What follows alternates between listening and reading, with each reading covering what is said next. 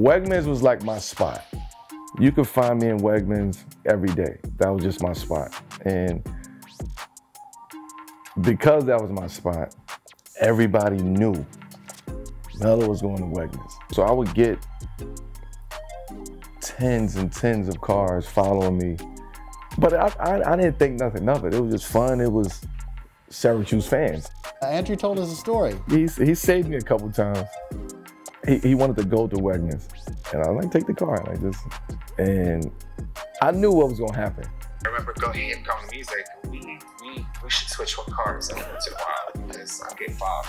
So I would drive his car. I pull into the parking lot at Wegmans, and here's a six foot white guy coming out, and you and they're they're out already out of their cars because they're hoping to rush the car to get a picture. and I look at him, sorry.